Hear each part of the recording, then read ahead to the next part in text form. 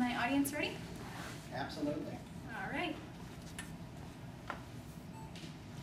All I want is a room somewhere far away from the cold night air. Warm face, warm hands,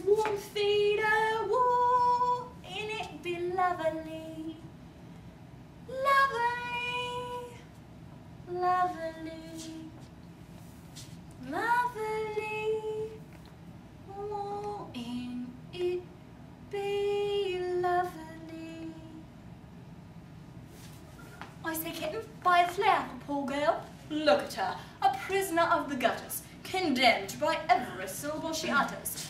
Ow, I'm a good girl, I am. Hmm. You see this creature with her curbstone English? The English that will keep her in the gutters till the end of her days? Well, Colonel Pickering, in six months I could pass her off as a duchess, at an embassy ball, with simple phonetics, the signs of speech. That's my profession, also my hobby. Henry Higgins, author of Higgins' Universal Alphabet. Pleased to make your acquaintance, Professor. P Pickering, come with me and we'll have a chat over some supper.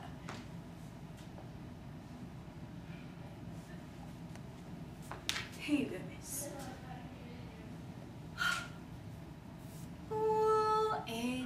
It be lovely.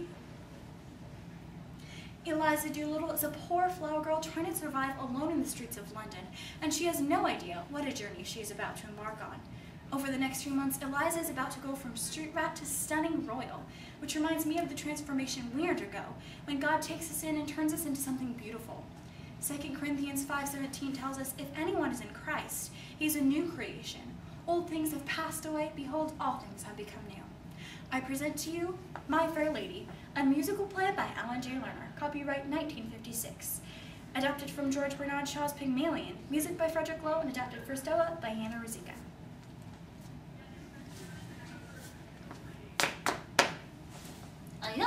Wants to see you, sir.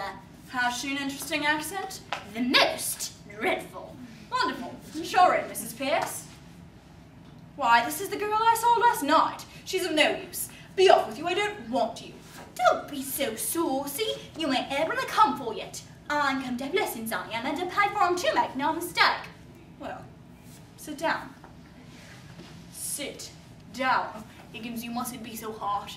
What is your name, my dear? Eliza Doolittle. Higgins, I'm interested. What about your boast that you could pass off as a duchess? I'll say you're the best teacher alive if you can make good on it. And if you can impress a queen at this embassy ball, I'll even pay for the expenses of the experiment. Oh, you're a real good cat. Thank you. It's almost irresistible. She's so deliciously low, so hardly dirty. I'll take it. I'll make a duchess of this draggle-tailed gutter snipe. Oh, what a good girl I am. Hmm. Take her away and clean her, Mrs. Pearce. If she gives you any trouble, wallop her.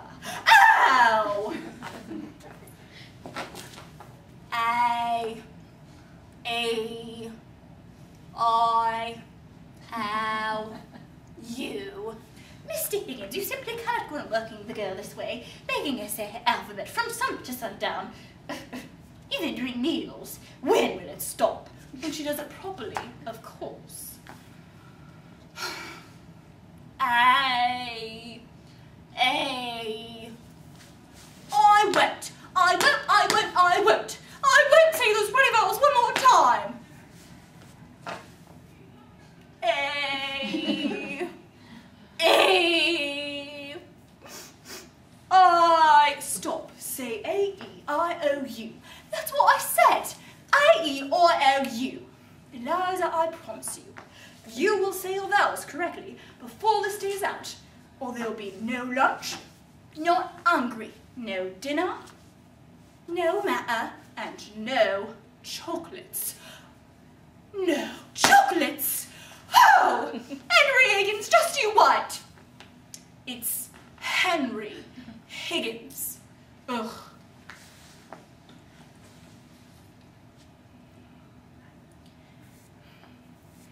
How kind of you to let me come. No, no, no, Eliza, try your H's. Ha. Ha. Ha. Ha. Good, good. Now try it again. How kind of you to let me come.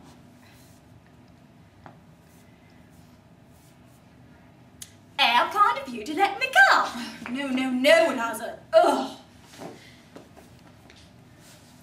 The rain in Spain stays mainly in the plains. The rain in Spain stays mainly in the plain. Didn't I say that? No, Eliza, you didn't say that. You didn't even say that. I can't do it. It's impossible. Ugh. Eliza. Eliza, I know you're tired. I know that your head aches and I know that your nerves are raw, but but just think of what you're trying to accomplish, the, the majesty and grandeur of the English language. That's what you've set yourself to conquer, Eliza. And conquer it you will. Now, try again. Conquer it I will.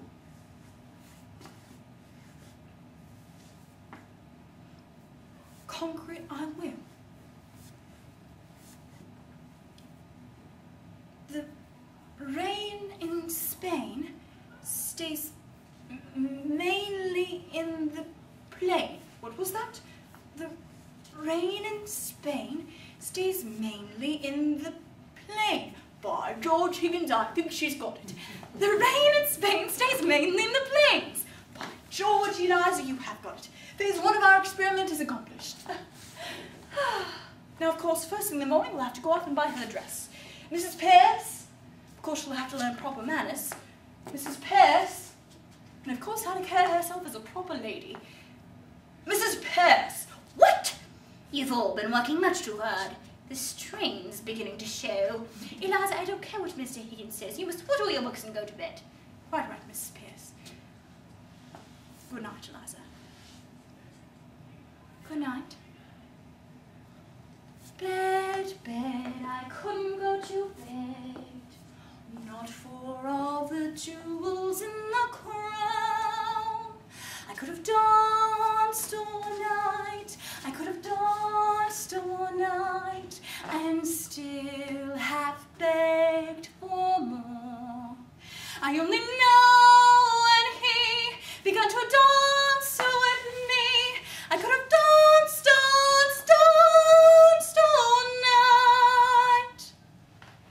Higgins, suppose there's a mishap at the embassy ball tonight. Suppose she makes a mistake. Suppose she's discovered. Nonsense, Pickering. Eliza can do anything. Oh, Miss Eliza, you look, you look, you look beautiful, my dear. Don't you think so, Higgins? uh, why, yes, of course. Um, not bad. Not bad at all. Shall we go then? Yes. Colonel Hugh Pickering, Professor Henry Higgins, and Miss Eliza Doolittle. Who is that captivating creature with Professor Higgins? Eliza Doolittle. Oh, she carries herself as if she's always lived in a palace. Quite lovely. Rumor has it she's secretly a Hungarian Grand Duchess. Oh, how marvelously scandalous! Have you heard? Her Royal Majesty the Queen of Transylvania. This is it, Eliza. You must gain the approval of the Queen. Your Majesty, may I present Miss Eliza Doolittle? Your Majesty, pleased to make your acquaintance. Are you perhaps of royal descent? No, Your Majesty. Well, you certainly look as if you could be. Lovely, quite lovely. Thank you, Your Majesty. You did it, Eliza. She simply loved you. May I have the pleasure of this dance, Your Highness? I'd be delighted, Professor Higgins. You know, the entire room is enraptured with you. They all think you're some kind of incognito Hungarian Grand Duchess. Conquer it you have, Eliza, just like I said you would. Conquer it you have. Conquer it we have. Isn't it just a loverly.